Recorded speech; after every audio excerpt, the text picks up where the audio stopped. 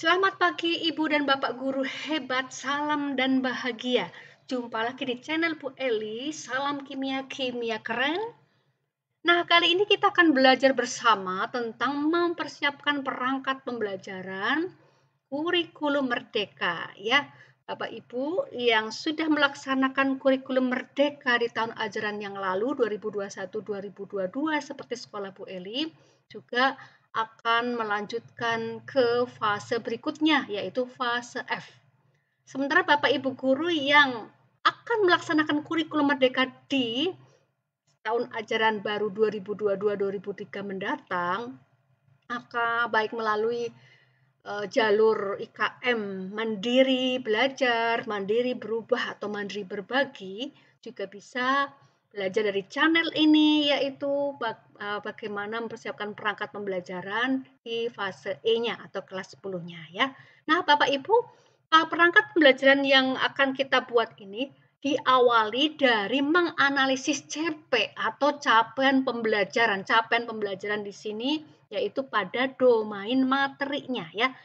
Materi yang dibahas adalah pada mapel kimia ya mapel kimia fase F atau kelas 11 dan 12. Nah, pada part 1 kali ini Bu Eli akan membahas hanya pada bagian cara menganalisis CP-nya ya Bapak Ibu, kemudian membuat uh, apa menganalisis minggu efektifnya baru sampai analisis CP. Kenapa? Karena menganalisis CP dengan sangat paham, sangat detail itu harus dilakukan di awal di awal uh, membuat perangkat pembelajaran ya. Tanpa memahami CP, kita tidak bisa membuat TP atau tujuan pembelajaran, apalagi membuat ATP atau alur tujuan pembelajaran ya. Jadi kita awali dari menganalisis CP-nya. Nah, Bapak Ibu, kita harus paham dulu istilah yang dipakai dalam kurikulum merdeka dibandingkan kurikulum sebelumnya yaitu K13 ya. Istilahnya adalah KOSP, ini istilah pertama, kurikulum operasional satuan pendidikan. Satuan pendidikan adalah sekolah ya. Ini adalah kurikulum yang diadop oleh sekolah masing-masing. Kurikulum nasional, kurikulum merdeka itu disesuaikan dengan kebutuhan peserta didik visi misi sekolah tersebut ya. Nah, di K13 namanya KTSP, kurikulum tingkat satuan pendidikan. Lalu ada istilah CP, TP, ATP. CP itu capaian pembelajaran, TP adalah tujuan pembelajaran dan ATP adalah alur tujuan pembelajaran ya. Nah, pada K13 CP itu adalah KIKD-nya. Sementara TP tujuan pembelajaran yang kemudian diurutkan menjadi ATP alur tujuan pembelajaran itu seperti silabusnya yang dituangkan dibagi-bagi ke program tahunan, prota dan program semester atau prosem ya. Lalu pada kurikulum merdeka itu ada P5, Proyek Penguatan Profil Pelajar Pancasila. Kalau di K13 ini aktualisasi mapel dalam kepramukaan ya. Lalu di K3 Merdeka ini ada fase, istilah fase.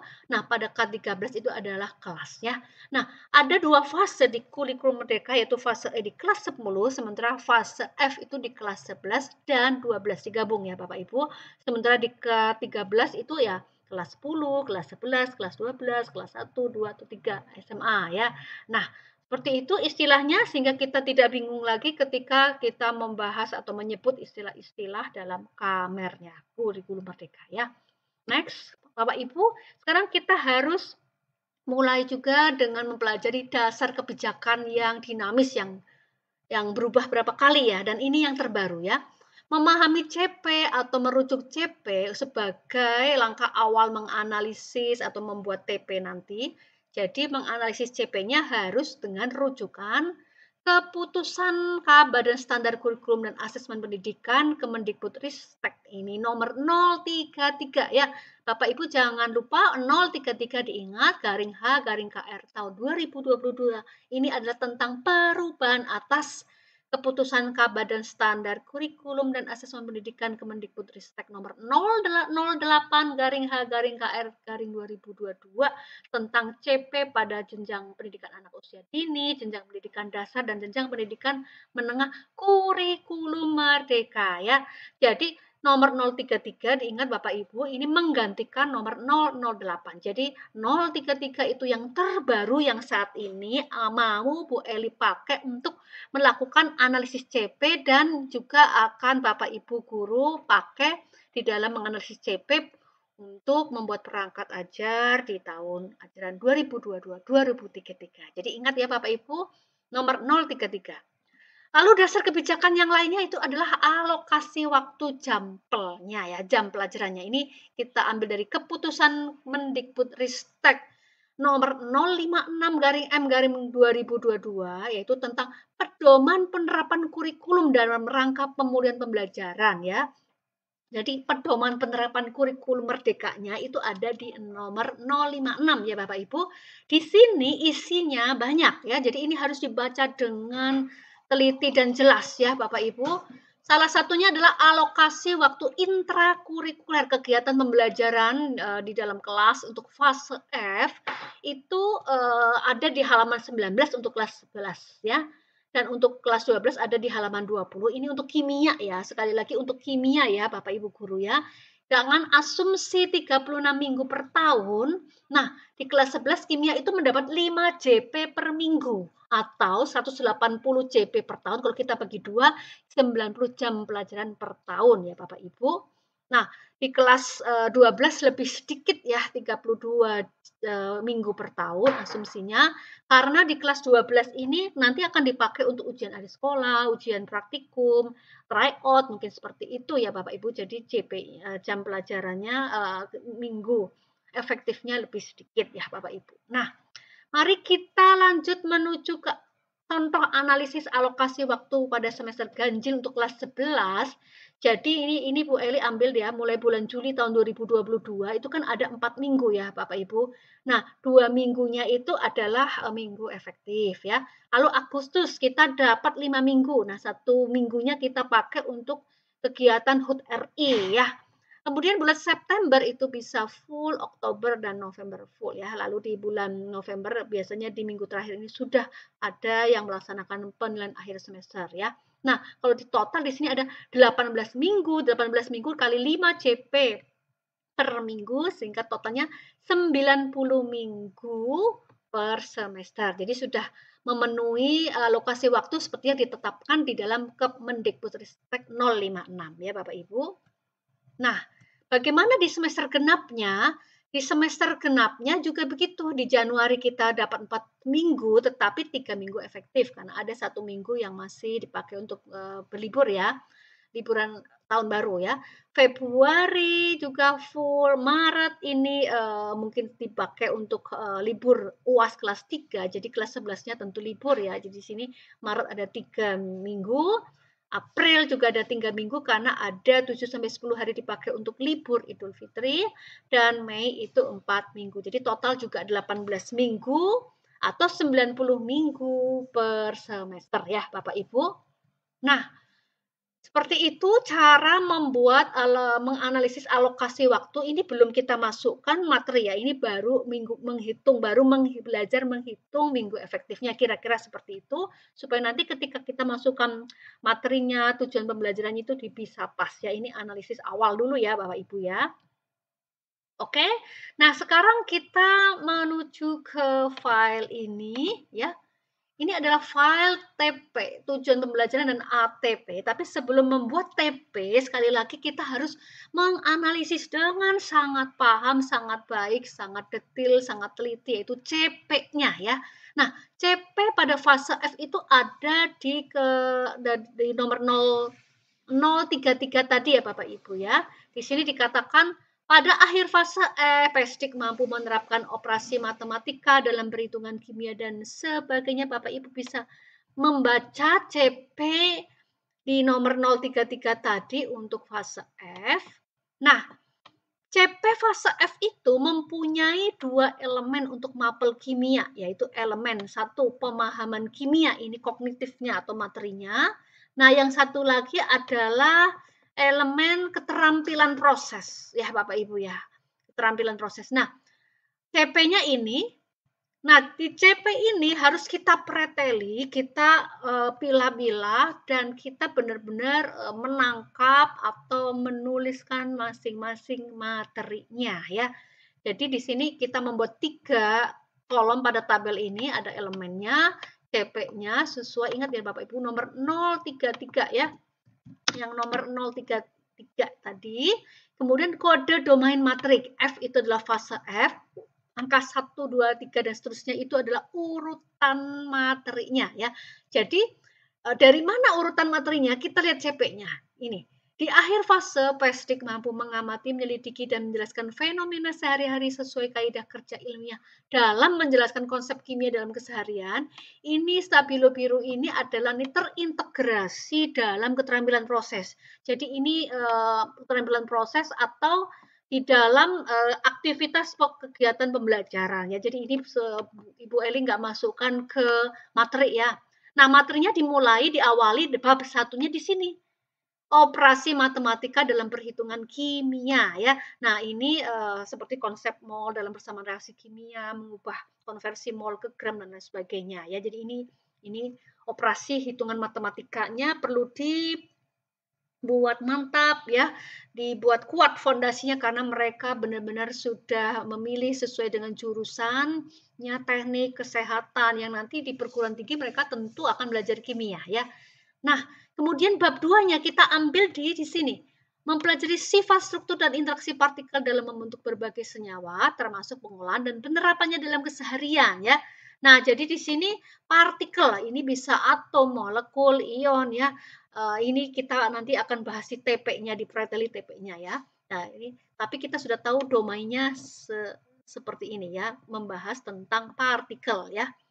Kemudian aspek energi, ini adalah pengantar masuk ke termokimia. Jadi kita boleh menjelaskan energi kinetik, energi potensial, bagaimana partikel itu akan kenapa dia bisa berotasi, vibrasi, translasi ya, pengantar bahwa ada energi aspek-aspek penting pada energi kimia ya, termasuk ya tadi ya, energi potensial kimia, kestabilan sebuah senyawa, reaksi kimia dan lain sebagainya ya. Nah, kemudian memang pada CP ini sering uh, kali dijumpai uh, sepertinya ada yang melompat ya. Ibu Eli lihat di sini ya transformasi energi kimia dalam keseharian termasuk termokimia dan elektrokimia. Nah, termokimia kenapa lompat di bawah? Sementara setelah uh, interaksi partikel tadi lalu memahami aspek energi dan laju dan keseimbangan reaksi kimia ya. Jadi dari yang bawah ini termokimia boleh diangkat ke atas ya. Sehingga kita masukkan ke dalam F4 transformasi energi kimia dalam keseharian atau termokimia. Karena setelah membahas aspek energi tentu akan lebih urut ya urut menuju ke, ke termokimia pengenalan entalpi perubahan entalpi dan lain sebagainya ya.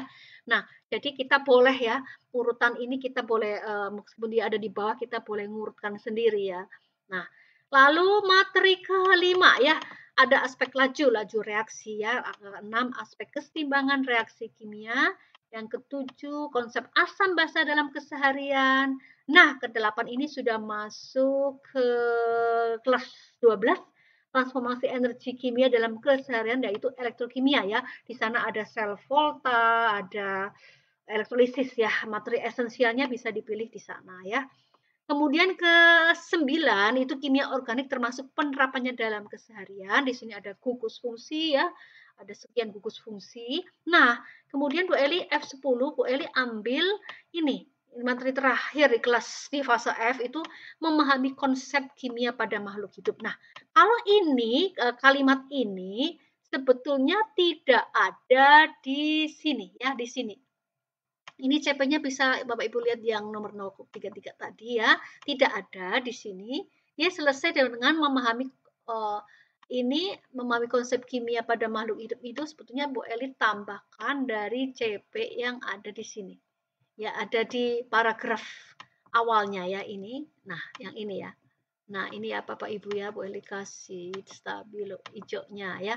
Jadi, konsep kimia pada makhluk hidup ini uh, analisis Bu Eli adalah bagaimana memberi pemahaman pada uh, makromolekul pengantar biokimia ya. Di sana belajar tentang pengantar karbohidrat, protein dan lemak. Jadi pada aspek kimia ya, bagaimana karbohidrat, monosakarida, glukosa digabungkan ikatan glikosida menghasilkan polisakarida dan lain sebagainya atau ikatan peptida itu bergabung membentuk polipeptida dan akhirnya protein, primer, sekunder, tersier, kuartener. Nah, sehingga uh, ini untuk uh, peserta didik yang akan melanjutkan ke uh, jurusan kesehatan, kedokteran ya atau gizi dan lain sebagainya itu punya bekal ya. Jadi ada total 10 materi materi pemahaman kimia atau kognitifnya dari hasil analisis CP-nya ya Bapak Ibu. Jadi ini seperti itu. Nah, lalu pada elemen berikutnya keterampilan proses. Keterampilan proses pada CP-nya ditulis seperti ini ya, sepanjang ini ya Bapak Ibu ya. Ini kinerja kerja ilmiah, metode berpikir ilmiah ya. Eh, keterampilan proses sains ya. Nah, mana saja materi yang kita masukkan ke sini atau materi yang perlu diimplementasikan dalam bentuk kurikulum ya. Jadi berdasarkan KKO-nya, kata kerja operasionalnya, maka Bu Eli memilih untuk materi ini. Ya, F2. Ya, kenapa F2? Karena ada KKO pengolahan dan penerapan dalam keseharian, mengolah, menerapkan. Kemudian F4 ya, ini transformasi energi termokimia dalam keseharian karena ada keseharian perlu kita beri pengalaman apa sih yang sehari-hari itu bisa uh, kita terapkan terkait dengan materi uh, termokimia ya. Kemudian F7 ini konsep asam basa keseharian. Mungkin kita memperkenalkan bagaimana menguji kualitatif uh, senyawa itu asam atau basa menggunakan indikator alami. Ini juga bisa ya Bapak Ibu atau bahkan titrasi seperti itu ya. Kemudian transformasi energi kimia dalam keseharian, kata kuncinya ada keseharian juga. Ini pada elektrokimia ini di kelas 12 ya. Dan juga kimia organik termasuk penerapannya dalam keseharian ada kata menerapkan ya. Ini juga KKU untuk uh, praktikum pada materi ke-9. KP ini keterampilan proses. Jadi Ibu Eli menuliskan label sendiri ya KP. Bapak Ibu juga bisa membuat label yang lain ya. Nah, setelah kita menganalisis di atas, supaya lebih jelas, kita membuat tabel lagi ya, yang terdiri dari empat kolom, yaitu ini fasenya. Kita bagi fasenya yaitu di kelas 11 dan kelas 12. Kemudian elemennya ada dua tadi ya, pemahaman kimia dan keterampilan proses. Lalu ini domain materinya dan ini KKO-nya. Nah, kata kerja operasional target ini adalah sesuai CP-nya ya Bapak Ibu. Jadi sebaiknya sama dengan KKO target ya. E, kalau lebih tinggi boleh nggak? Boleh saja ya, tetapi uh, pada pada awal awal latihan membuat CP kita membuat eh maksudnya menganalisis CP kita membuat KKO yang sesuai dengan yang tertera pada CP-nya supaya lebih mudah dan nanti bisa dikembangkan kok ya. Misalnya kita membuat uh, analisis tujuan tujuan pembelajaran untuk siswa yang remedia itu atau yang bahkan yang pengayaan, yang cerdas istimewa itu pasti KKO-nya di atas KKO yang tampil kepada CP ya. Lalu kode domain materi, ini Bu Eli kasih urutan 1, 2, 3. Ini materi ke ke-1, kedua, ketiga ya. Sekali lagi F-nya itu adalah fase. Nah, kalau Bapak Ibu di E, Bapak Ibu tulis E1, E2, dan seterusnya ya. Nah, menerapkan operasi matematika dalam perhitungan kimia. Ini konsep mol awal ya.